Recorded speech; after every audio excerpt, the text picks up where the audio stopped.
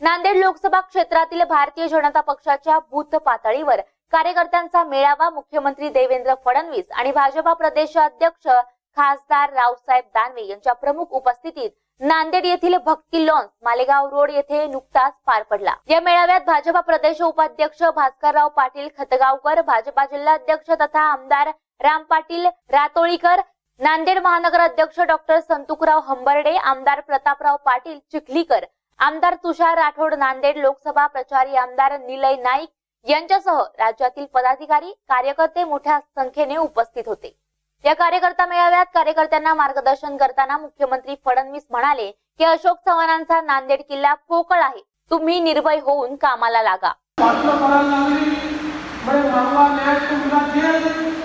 भारताच्या स्वातंत्र्य जेलमध्ये गेले.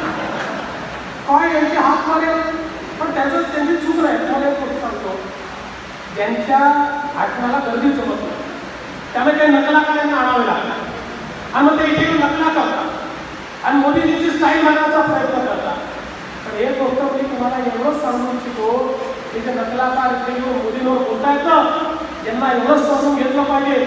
सूर्याकडे चेहरा करून फुकलं तर खूप आपल्या चेहऱ्यावर पडतो. सूर्यावर तरी जात नाही. काय म्हणाले मी न्याय मिळवताना जेलमध्ये टाकलं विसरू नका.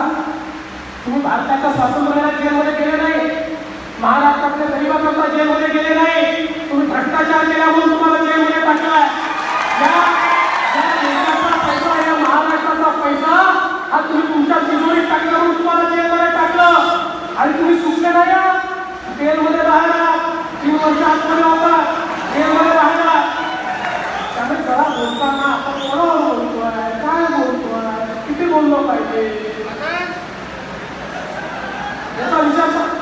Esa lucha se queda